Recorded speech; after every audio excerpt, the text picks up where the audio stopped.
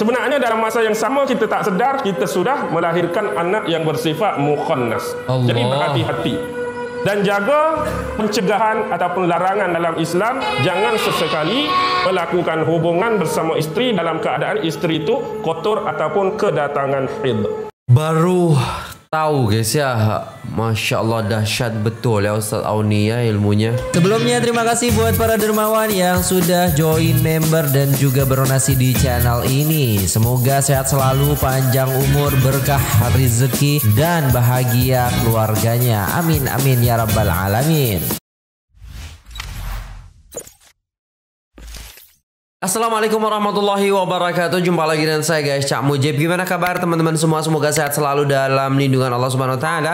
Dijauhkan dari segala mara bahaya Malapetaka bencana dan bala Serta berbagai macam penyakit. Amin amin ya rabbal alamin. Alright guys Alhamdulillah kita masih diberikan kesehatan yang sangat besar oleh Allah Subhanahu Wa Taala. Salah satu nikmat yang sangat besar itu adalah Nikmat iman dan Islam di dalam dada kita guys ya. Alhamdulillah Thumma Alhamdulillah. Alright guys kali ini kita akan mengaji kembali bersama Ustadz Auni Muhammad di sini daripada channel Tazkirah Visual guys ya.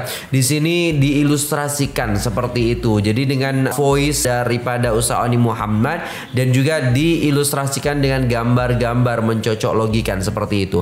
Tanpa berlama-lama langsung saja guys, hati-hati manusia bisa melahirkan anak jin. Oke, okay, jom kita tengok videonya. Let's go. Bagaimana ada sesetengah dan sebilangan manusia yang menghasilkan anak spesies jin dalam istilah ilmu perubatan Islam dia sebut al-mukhannas. Al-mukhannas. Allah.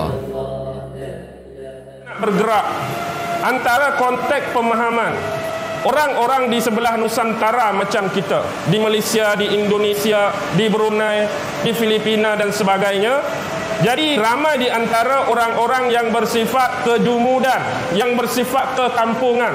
Mereka ni bila mereka mempericikan tentang jin, kita yang belajar, kita yang bersifat akademik ni, bagi kita bila sebut hantu tak ada benda lain. Hantu tu sebahagian daripada jin. Tapi bagi mereka seolah-olah bila cerita pasal jin, jin tu benda lain. Bila cerita pasal hantu, hantu tu benda lain sama-sama makhluk halus, sama-sama ada, sama-sama wujud, sama-sama dia percaya. Tapi seolah-olah jin tu lain, hantu tu lain. Walhal tak ada pun istilah hantu dalam agama. Yang ada jin, iblis, syait, syaitan, tiga tu saja. Baik. Sekarang walaupun mereka buat pembah apa ni pembahagian, pemecahan kepada unsur-unsur tadi. Jadi antara nama-nama hantu yang sering disebut, yang popular, yang masyhur antaranya hantu hantu raya sebagai contoh. Tapi jangan risau hantu raya ni sebab dia keluar dua kali setahun saja. Iaitu hari raya Aidilfitri dengan hari raya Adha. Hari tak beraya insya-Allah dia tak ada. Ha tu hantu raya. Yang kedua macam hantu pocong. Sebenarnya hantu pocong sama juga dengan hantu bung bungkus. Ha, setengah tempat sebut hantu pocong, setengah tempat sebut hantu bungkus. Ada yang nama polong, ada yang nama jembalang, ada pontianak, ada langsuir, ada harimau jadian, macam-macam lah nama hantu. Hantu gusi, hantu gigi, hantu susu. Jadi hantu ni bagaimana? Mereka mencipta karakter mereka Dan mereka jelmakan dalam bentuk Supaya dapat memerangkap manusia. Pertama mereka nak menakut-nakutkan manusia. Yang kedua mereka nak menjauhkan manusia ini Daripada Allah subhanahu wa ta'ala tetapi jin ni dia cerdik, iblis ni dia cerdik. Bagaimana mereka nak jelmakan bentuk penjelmaan ini kesesuaian mengikut situasi, mengikut suasana, mengikut tempat. Kalau kita tengok jenis spesies hantu paling banyak tak ada tempat lain kecuali Nusan, Nusantara. Tengok hantu yang selalu dipaparkan dalam filem kalau di Eropah, kalau di Britain, kalau di Amerika, mana ada hantu jenis macam kita kecuali Dracula, Dracula handsome lagi, baju kok lagi, duduk dalam keranda lagi. Dia hantu jenis tu. Sesuailah kedudukan orang-orang di bandar. Hantu Cina, tak ada kerja lain, asyik melom, melompat saja. Tanpa huruf Cina, berhenti. Hantu India, cara dia. Tapi paling banyak kalau nak senarai, hantu orang Melayu lah. Macam-macam hantu. Kenapa? Sebab kita mempunyai struktur hutan yang cukup tebal. Semak sambung yang banyak. Belukar yang luas. Jadi macam-macam karakter yang mereka boleh jelmakan. Kalaulah bayangkan hantu Cina mari tempat kita. Longkang besar banyak. Akar pokok banyak. Saat lompat-lompat tersadung rebah. Tak sesuai lah. Ha, tu tak. Tak sesuai langsung. Lepas tu kalau jenis orang Melayu ni hak muka huduh, muka menakutkan dia takut, agak-agak keluar Dracula muka handsome dia lari dah.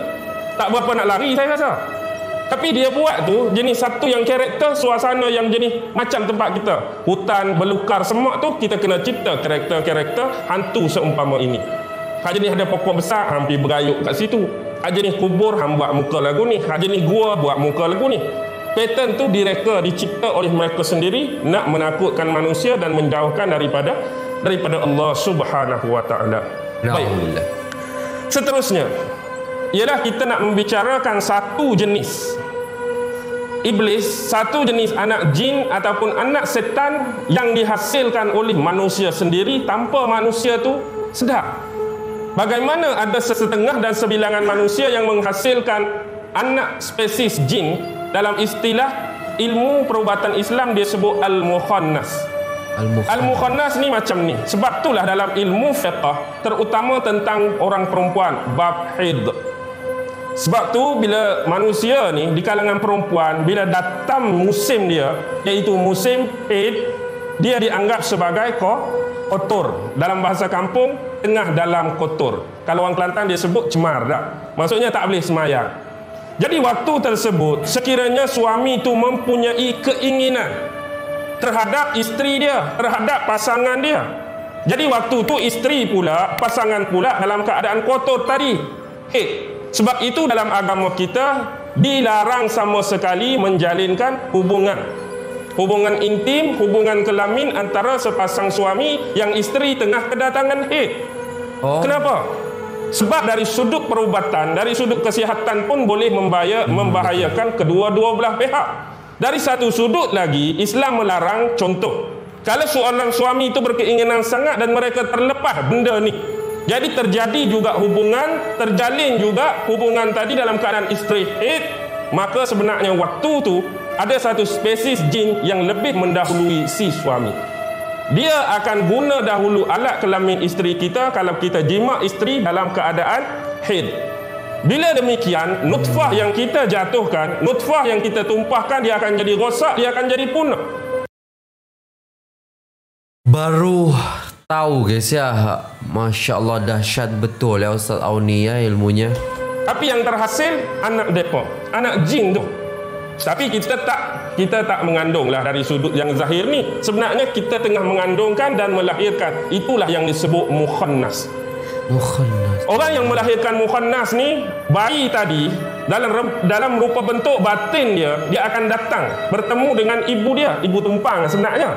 Kadang-kadang perempuan ni bila mari kotor, bila jiwa dia stres, bila jiwa dia tak tenteram, ada masalah, ada problem, kadang-kadang dia terbayang duduk dalam rumah dia tu ada budak kecil. Ha, ada budak kecil. Mungkin pertama boleh jadi gangguan yang memang bukan mukhannas. Tetapi kebiasaannya yang bersifat mukhannas, gangguan akan datang dalam bentuk dan cara tersebut. Sebenarnya dalam masa yang sama kita tak sedar kita sudah melahirkan anak yang bersifat mukhannas. Jadi berhati-hati. Dan jaga pencegahan ataupun larangan dalam Islam jangan sesekali melakukan hubungan bersama isteri dalam keadaan isteri itu kotor ataupun kedatangan haid. Jadi siapa yang terlepas dia sendirilah yang menanggung asbab musabab dan segala akibatnya.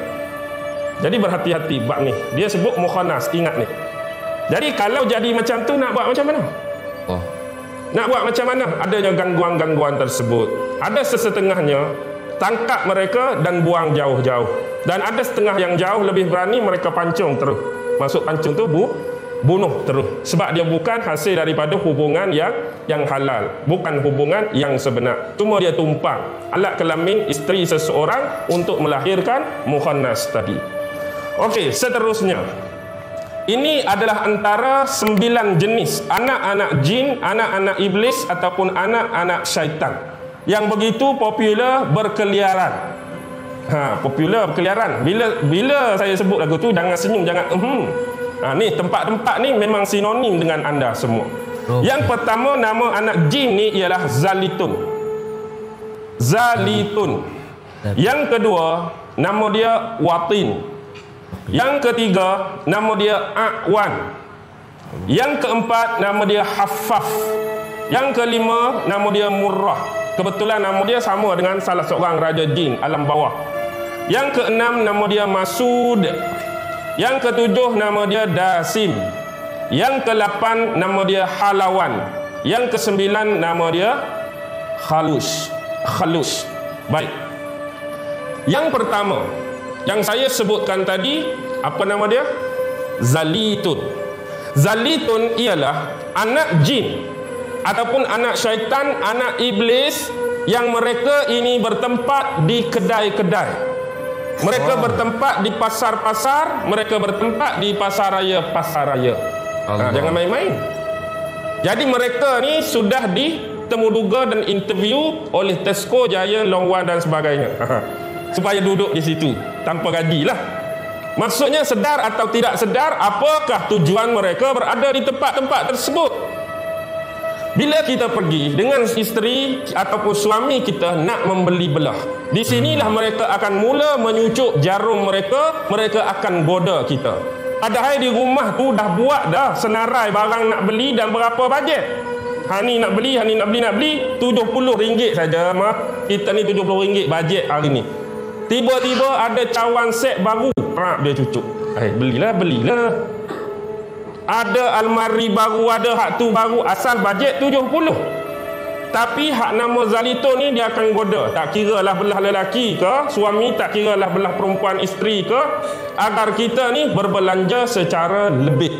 Allah. Ataupun berbelanja dengan perkara-perkara yang memang bukan menjadi keperluan kita pun. Jadi hak sepatut habis 70, hak tu nak, hak ni nak, hak tu nak, hak ni nak, jadi 170. Jadi dah terlebih 100 kita nampak oh, biasalah terlebih dari sudut zahir tapi kadang-kadang mereka lah yang berada di pasar raya-pasar raya menyucuk dan menggoda kita tak kira belah lelaki belah perempuan agar kita ni berbelanja lebih dan berbelanja perkara-perkara yang bukan sepatutnya dan jadi keperluan bagi kita nak suruh mata kita ni jadi kelabu dengan benda-benda tersebut Kadang-kadang handphone ada dah. Tiba-tiba dia main diskaun pula. Eh, elok juga ni. Beli pula handphone. Macam saya. Dua-dua dah ada. saya tunjuk saya sendiri. Tapi saya tu bukan Zaritun lah. Okey. Seterusnya. Yang kedua disebut sebagai watin. Watin ni dia akan pergi kepada manusia-manusia yang Allah uji mereka. Ada sesetengah manusia Allah bagi musibah. Allah bagi ujian, Allah bagi bala, Allah bagi masalah, Allah bagi problem. Dan dalam keadaan manusia tu duduk tengah stres, duduk tengah pening dengan problem dia, dia mai cucuk, dia mai goda. Untuk apa? Supaya kita ni jadi prasangka buruk kepada ah, kepada Allah. Allah. Jadi kita pun nak berfikir yang bukan-bukan Allah. Pasal apa lah Allah bagi orang lain tu tak pernah susah jiran aku. Aku ni hari-hari asyik susah. Minggu lepas dah susah banyak habis duit. Minggu ni banyak pula. Macam kamu ni tak adil lah Allah. Aha. Jadi dia nak suruh kita keluarkan perkataan-perkataan macam tu. Dia pergi cucuk nak suruh kita ni sangka buruk terhadap Allah, pelari kita daripada beriman kepada qada dan qadar yang Allah tentukan. Dia tak tahu bahawa makin banyak susah yang kita dapat, makin banyak pahala yang Allah nak nak bagi. Tapi manusia tak fikir pasal pahala tu sebab tak nam sebab tak nampak pasal pahala. Kalau kecuali gedegang jatuh depan dia tak apalah.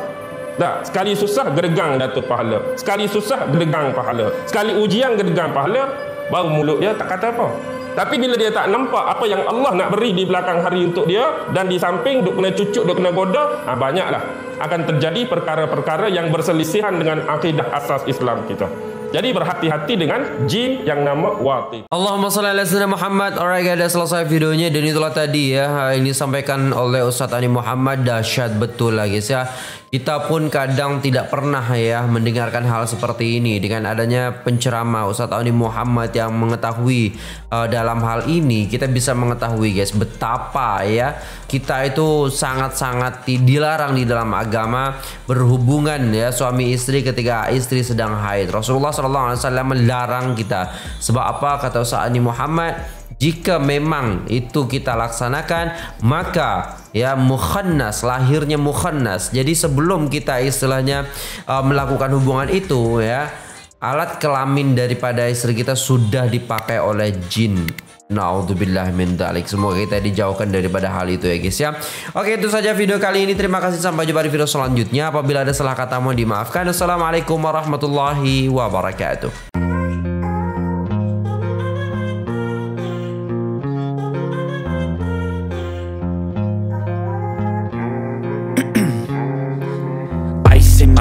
I've been driving this train Years in this lane. There's no stopping this flame Cause I came to the game And I changed it to play. How I like rearrange